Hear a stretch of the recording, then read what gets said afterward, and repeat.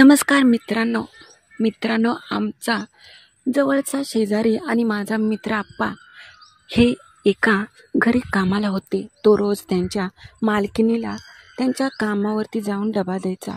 स्वतःचे असे त्यांचं एक दुकान होतं आणि तो त्यांचा घरघडी होता. घरचं काम वगैरे तो नेहमीच करत असायचा. आणि दुपारच्या वेळ झाली की तो मालकिनीला डबा घेऊन त्यांच्या कामावर जायचा. कारण की मालकिनीला कामातून वेळ भेटायचा नाही आणि स्वतःचं त्यांचं दुकान पण होतं. एक दिवशी तो असाच डबा द्यायला गेला आणि मालकिनीने मग भर दुपारी त्याला त्याच्या खोलीत नेऊन काय केलं आणि पुढे काय काय झालं तीच कथा आज त्याच्याच तोंडातून मी तुम्हासनी सांगणार आहे. त्याच्या आधी जर तुम्ही नवीन असाल आणि आपल्या चॅनलला अजून लाईक सबस्क्राईबच नसेल केलं तर प्लीज आता लगेच करून घ्या. चला तर मग कथेला सुरुवात करू. नमस्कार. मित्रांनो माझं नाव आप्पा आहे. दिसायला मी साधा आहे. तसा एवढा काही मी देखणार नाही. मात्र स्वतःला अगदीच मी फिट्टत ठेवलं आहे. तसं म्हणायला गेलं तर लागेल तिथे काम करायचं. हे माझं पहिल्यापासूनच ठरलं होतं. झालं असं. त्या दिवशी मला चांगलंच आठवतं आहे मी माझ्या मालकिनीच्या घरी कामाला आहे आणि दुपारचं कधी कधी मला त्यांना एखाद्या वेळेस डबा घेऊन जायला लागतं त्यांच्या कामावरती. आणि त्या तिथे दुकानात असल्या की त्यांना काही रिकामा वेळच भेटत नाही. माझी मालकीन दिसायला सुंदर मात्र एकटे राहायचे. मालक तर नव्हतेच मात्र त्या नेहमीच मला प्रेमाने बोलत असायच्या. कधी कधी तर मी त्यांची रात्री असलं की तिथे थांबायचो. आणि मग तिथे राहण्याची वगैरे माझी सगळी सोय होत असायची. मी गावाकडे राहणारा होतो. मात्र मला इकडचं थोडंसं माहिती होतं. शहरामध्ये तसं मला राहणं काही नवीन नव्हतं. मी ह्याच्या आधी बरेच दिवस इकडे राहिलो होतो. मालकिनीचा स्वभाव मला माहिती होतं. आणि त्यांचं नाव अंजू होतं. झालं होतं की त्यांनी घरी फोन केला आणि माझ्यापाशी डबा द्यायला सांगितलं. त्यांच्यापाशी त्यांची आई राहायची आणि ती म्हातारी असली तरी स्वयंपाक सगळं व्यवस्थित आणि चांगला करायची. ती म्हटली आधी तू जेवण कर आणि ही सगळा डबा मी पॅक करून ठेवला आहे. डबा घेऊन जा मालकिनीला आणि कधी घरी येणार आहे विचार. ही तर काही स्वतःकडे लक्ष देत नाही आणि वेळेवर डबा पण नेत नाही. असं त्या मला म्हटल्या आणि मी म्हटलं बरं ठीक आहे. मालकिनीला त्यांनी फोन करून दिला आणि हा डबा न्यायला येईल ग. डबा द्यायला आप्पा आणि ह्याच्याकडून डबा घे. त्यावेळेस ती मालकीन म्हणत होत्या अगं कशाला? मी येईन संध्याकाळी घरी. त्यावेळेस मात्र ते ऐकलं नाही आणि माझ्यापाशी डबा दिला. आता मला पण बाहेर जायचंच होतं थोडंसं फिरायला. आणि खूप दिवस झालं असं बाहेरचं कोणी बघितलं नव्हतं. मी गाडी घेतली आणि त्यांना जायला निघालो.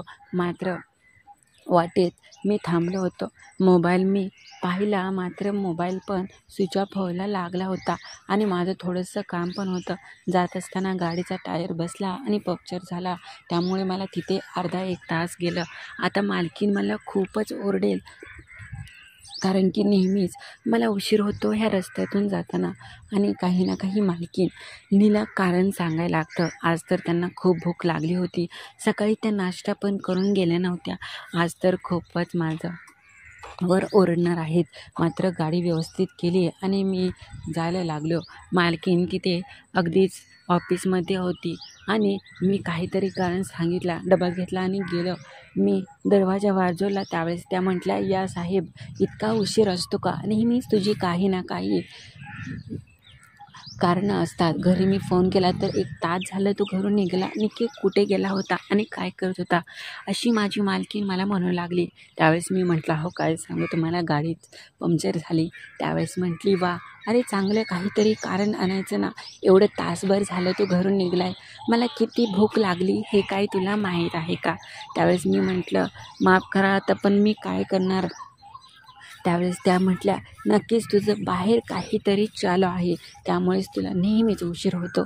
नेहमीच मी तुझी वाट पाहत इकडे बसलेले असते. मात्र तुला माझी काहीच काळजी नसते. कोण आहे ती आणि कधीपासून चालू आहे? त्यावेळेस मी हसतच म्हटलं आहो तसं काही नाही.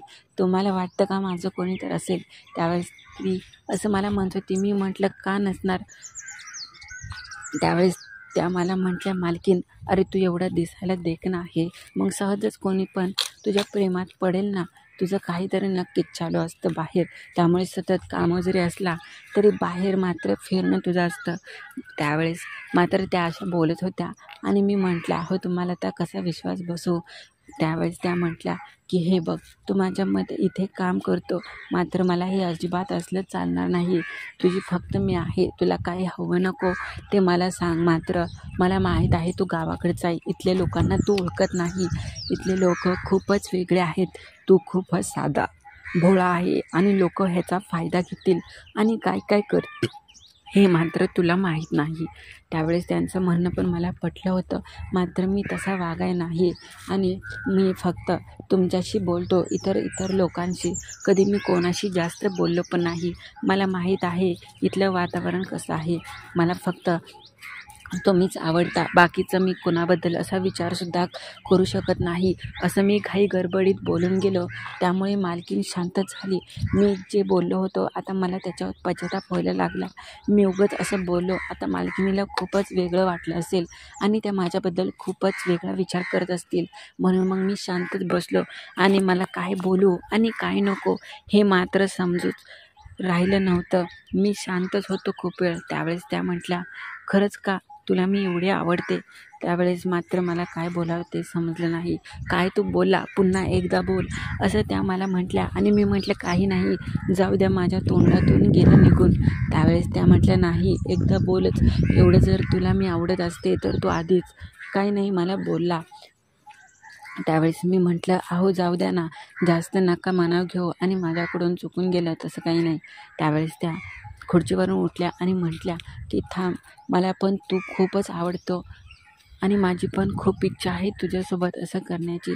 त्यावेळेस मी म्हटलं खरंच की उगच काहीतरी म्हणताय. त्यावेळेस त्या म्हटल्या नाही रे खूप दिवसातून मला तू आवडू लागला आहे तू मॅडम मॅडम करतो आणि खूपच तू असा भोळ आहे तुझा स्वभाव. खरंच खूपच चांगला आहे. कुणाला पण तू सहजच आवडू लागशील आणि तुझं हे बोलण्याची पद्धत आणि तू घरातील सगळे काम नुसतं स्वतःचं घर असल्यासारखं करतो. प्रत्येक गोष्ट तू ला सांगायला लागत नाही. तुला माझी किती काळजी आहे? नेहमीच मी जेवले का नाही? विचारण्यासाठी फोन करतो. आणि नको नको म्हणत असताना तू स्वतः डबा घेऊन येतो. माझ्या घरी पण सगळ्यांची किती काळजी घेतो. मला तो खूपच आवडू लागला आहे. त्यावेळेस मी म्हटलं आहो तुम्ही कुठं आणि आम्ही कुठं? मात्र त्या म्हटल्या अरे तसं काय नाही. मी तुझ्याबद्दल तसा कधीच विचार केला नाही. मात्र त्यांनी मला जवळ घेतलं आणि घट्ट मिठी मारली. मला काय होऊ लागलं होतं हेच मला समजत नव्हतं. मात्र त्यांचा तो स्पर्श मला खूपच आवडला आणि मी अगदीच त्यांच्या प्रेमात आकुंठ बुडाल्यासारखं मला वाटू लागलं. मी पण आता त्यांना पूर्ण साथ देऊ लागलं होतं आणि त्या पण मला साथ देऊ लागल्या होत्या. दोघं चांगलेच. आम्ही अगदीच उतावेळ आणि गरम झालो होतो. त्यांनी मग काय? मला तिथेच लाल केलं आणि मी पण झालो ना चालो. माझी करण्याची पद्धत पाहून त्या म्हटला इतक्या दिवस तू कुठे गेला होता?